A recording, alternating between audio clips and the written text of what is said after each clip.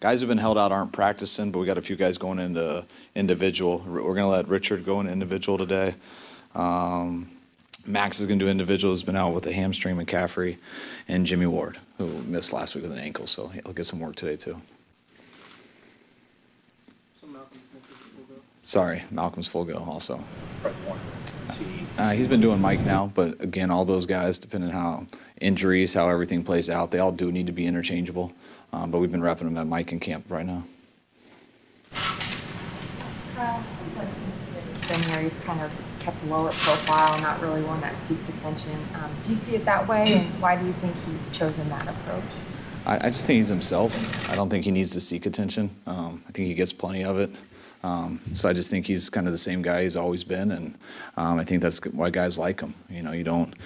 Um, I think guys liked him right when he got here, and they liked him as he played well. And uh, everyone knows the contract he signed this offseason, and he's not going to come in and act differently. He's been the same guy each day, and uh, I think that's why the people here really appreciate him.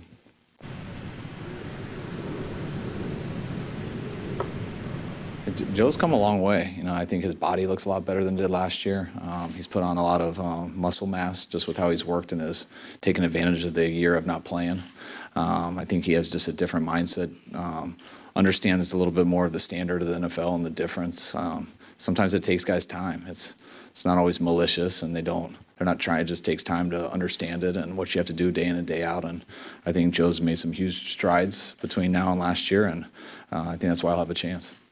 Still see the, the reasons that attracted you to him in the first place? Yeah, definitely. I mean, Joe's an extremely explosive back. Um, look at his yards per carry in the preseason last year. I don't think it was a surprise that he was close to seven and had more than most of the guys. Because when it is blocked right, he's got the size and the burst to get through there as fast as anyone.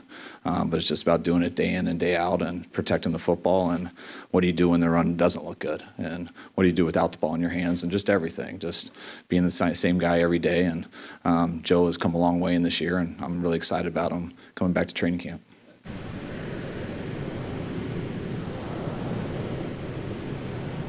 Yeah, yeah, Jerick's been great. You know, he, he missed some time. We were pretty cautious with him um, with some ankle stuff too um, in the middle of OTAs, uh, but he's got enough reps and he's been um, what we hoped. A few weeks ago, you mentioned how uh, the big difference from last year to this year is guys kind of knowing what to do when they in. Has that affected or changed the quality of what you've been getting from them on the field, and if so, how? Yeah, you just um, the more you're ahead, the faster you can get continue to get ahead. Um, when you when you have to spend a lot of time on how you want to practice, that we need to work hard here, um, how you do a walkthrough, how you finish a drill, um, how you make a play and run to that, just little things in the standard of how you practice. When you when you're new somewhere and everyone's new, it just takes a while to do that. No matter how much you preach it, you got to keep showing it every day and trying to train guys how you want to practice and. Um, now everyone kind of knows and they just follow each other and the new guys are in there's already standard set so they just jump in line and go with everyone else and when you don't have to talk about that stuff every day you got to talk about other things so you get what you emphasize and allows you to emphasize some things that you would like to say are more important but if if you don't have a standard on how you start and everything you can't get to those next steps and um, we have that standard we've done a lot we're a lot further along with it and i think it just allows allows us to be further along in other areas What are some of those things that, that kind of frees you up to focus on? Um, just stuff we can cover in team meetings. I mean, we don't always have to cover getting people to work. Everyone's working. That's not a question. Let's just detail up our technique. Let's talk about our steps. Let's look at it closer. Think of how it is versus this coverage versus front um, versus studying people's stances, whatever position you are, how to change things up. Um, there's so many different intricacies to a game and to a front, to a technique, to a coverage, to teams, to all that changes every week. So there's no absolutes, but that the one absolute is you got to. It's very hard, and so you got to work and grind every single day. And I think we got a team who's not scared of that. Guys like to work. Guys like to put in the time, and now we just have a bunch of guys focusing on getting better. Yes, yeah.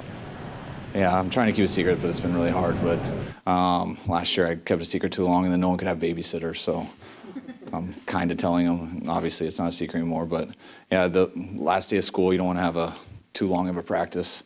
Um, so we're just gonna try to get the family up here and barbecue a little bit, get the jumpy castles and stuff, and have Staley and McGlinchey play King of the Hill in it or something. We'll do something. Brother, how is that uh, relationship working out, Kyle, between the two of them? How fast have they developed bond? Uh, I think they've been good. They're they're funny. They it's like two giant 12 year olds hanging out together. Um, but I think they have a lot of fun together. I think we got a real good room there. Um, you know, um, Joe is obviously the veteran.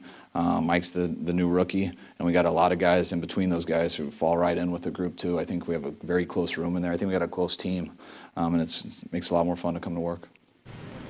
Given the fact that I came through the same coach and the same background, when you were doing your research on um, Mike with the coaches at Notre Dame, how much did Joe come up because he's kind of a he was kind of a template when they were developing. I, I- mean, it, it doesn't come up a ton. I mean, we it, it makes sense. You know, they both had two very good college coaches. They're both two very talented guys, um, and they both are playing to very close to their ability in the college level, which I think has to do a lot with them and that they were coached well. And then you hopefully you can get them to the NFL and with their talent and the way they work, just with more experience and stuff. Um, it's hard not to improve each year as long as you take care of your body and you can stay healthy. So I think we got two similar guys with similar backgrounds, and that's why it's you hope that they're we feel we feel very confident they're made of the right stuff, which will allow them to improve as their career goes. Last week during practice, it was a fourth down play. Um, Jimmy found Pierre, and that, that obviously wasn't, they didn't play together last year. How- Can you offer some insight on, on what their relationship is like throughout this offseason? I, I think it's been a, just part of the process. It's, it's been good for them to get to play with each other. You know, Jimmy came here last year, and I think he got to see Pierre maybe for one game, um, and then Pierre was on IR, so I think he only got to see him play once. Um, saw a lot of film from the cut-ups and stuff that we were trying to teach Jimmy with, but didn't really know him as a person and. It's been a good process for them to get here, spend some time together, get to know each other, um, go through all the reps of having some successful ones, some bad ones, stuff they can talk about. And some days are better than others, but they're getting to know each other. And uh, I think it'll be good going into training camp. And it'll definitely be nice to have Pierre back this year. Yeah, he's been great. You know, it's been real fun with him out there. You know, you got to be careful with how you run the ball in OTAs, but um, it's kind of works to our advantage because we do so much outside zone and not as much gap schemes and things like that. And um, he's he's been great. You know, him and Earl battle every day. We get DJ in there. Um, they know what's coming. We know what gaps they're in, and those two got to keep doing the same thing over and over. And he's created a lot of space for us, and I think he's fit in with the guys, and uh, he works as hard as everyone else, and we've been real happy so far. General Since Kyle, in, in general, do you see chemistry uh, forming a quarterback and his receivers over practice? And, and if so, have you seen that with Jimmy and the rest of the guys? Yeah, definitely. I mean, we saw it last year. Um, the more guys work together, especially when guys enjoy each other's company. You know, not I don't think everyone's best friends or anything, but I think everyone respects each other and um, enjoys each other. So those guys put a lot of work in here when we're around. I think they put in a ton of work when we're not around. Um, we got a lot of guys. Football's very important to, so that's you're going to get that. But like I keep saying, our guys enjoy each other also, so it just makes it easier to keep working. And the chemistry you can't force, you can't talk about it. it just it has to happen. And it takes time, and I think that's happening. Well, have you formed an opinion yet where Jimmie Ward can help you out most once training camp begins? I, I have a lot of, you know, Jimmy can help us out most where he's needed the most, um, which is a very good thing for a team to have. And it's a very big compliment to say to Jimmie that he's capable of helping us out at nickel, corner, and safety. Um, where do we need him the most? We're not quite sure yet. But what I've been excited about is how he looked throughout all the OTAs. You know, we only kept him at corner. Um, he did a very good job. He showed that he can be a starting corner in this league, and it's good to have him as an option. We'll see how training camp pans out. Um, he's shown throughout his career and last year when he played for us that he is uh, can play be a starter at safety, and we know he can play nickel also. So I've been very happy with Jimmie. Got a little tweak, I believe it was his ankle last week, so a little bit of a setback, but nothing to be too concerned about. Um, but I think he had a very good OTAs, and we'll see if he gets out there to probably not today, but maybe tomorrow.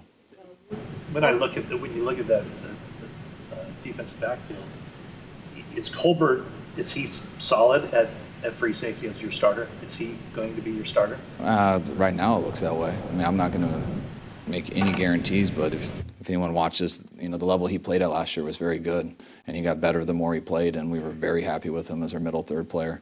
Um, before Jimmy got hurt, he was playing like that too. Um, but Colbert's came in, especially with our corner situation. He's had all the reps, and um, you know, I always not going to tell him he's arrived. You get better or worse, so he's got to continue to get better. Uh, but we were very happy with him as our middle third safety, and if someone comes out and beats him out and plays better, then And that's not the coolest thing for Colbert, but that's a good thing for the team. You know, it's a good problem to have to deal with.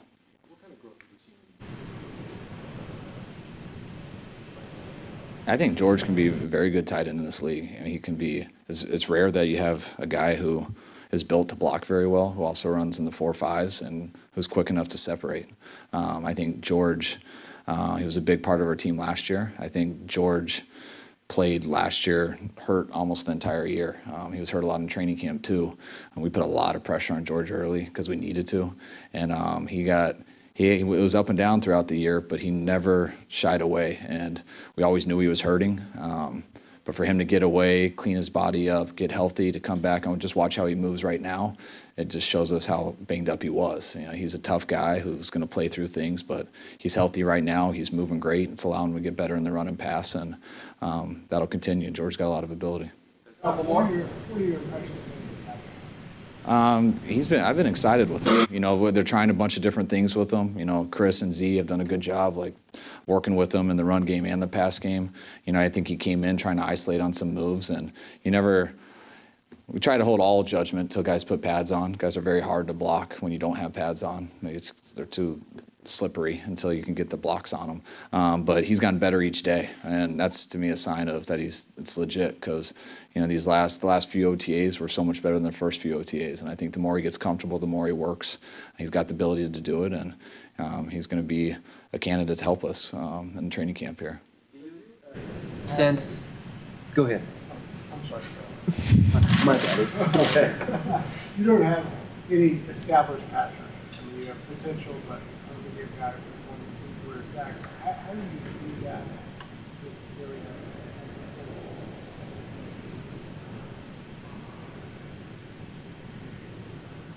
Um, well, I believe that we got guys with ability who work and who have a chance to get better. And I think in order for that to improve, every single guy we have on our roster, whoever it ends up being, needs to take a step forward um, from our best guy to our last guy. And I believe that we are capable of that. I don't think we're maxed out at D line.